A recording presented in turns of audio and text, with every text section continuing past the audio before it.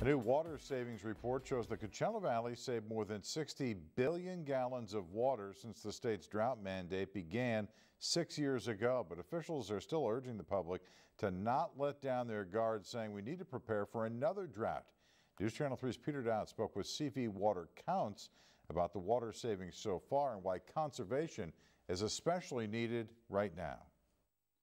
Victoria, first off, tell us about this recent water tally from June 2015 to present.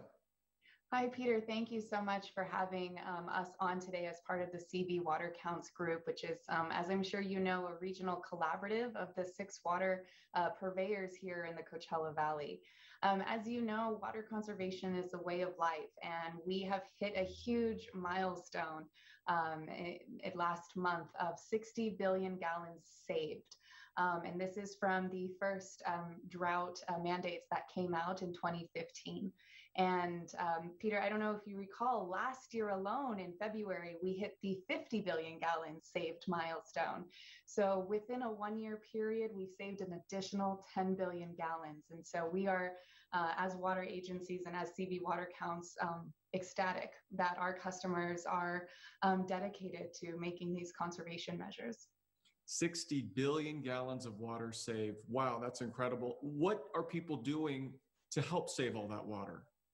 Sure. Well, each of the um, agencies have launched extensive public outreach programs um, from uh, rebate incentives, you know, from converting your turf grass rebates to going to a desert friendly landscape, from fixing your appliances, um, from more water consuming items, you know, toilets, uh, faucets, fixtures, things of that nature, and going with the more water sense uh, approved um, EPA labeled items have really made great strides here in our Coachella, Coachella Valley.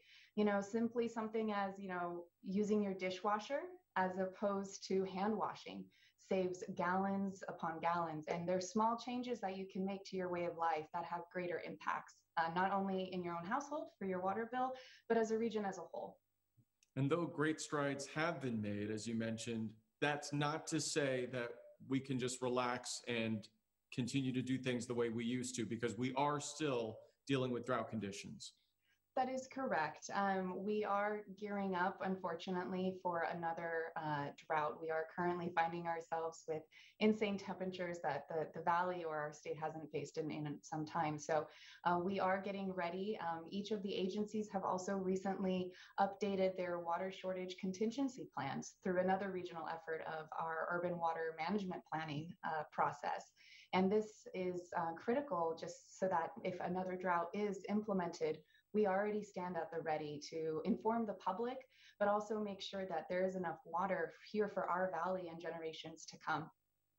We keep hearing stories about other places throughout the country, including Lake Mead, where there is a severe drought. The Colorado River obviously supplies water to countless people uh, and agriculture.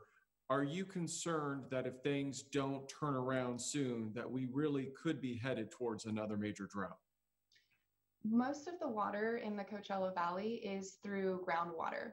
And so, although we do have our state water contractors and that do have some, um, you know, imported water that comes in, a lot of our water, if not all of our water, is, you know, from the aquifer.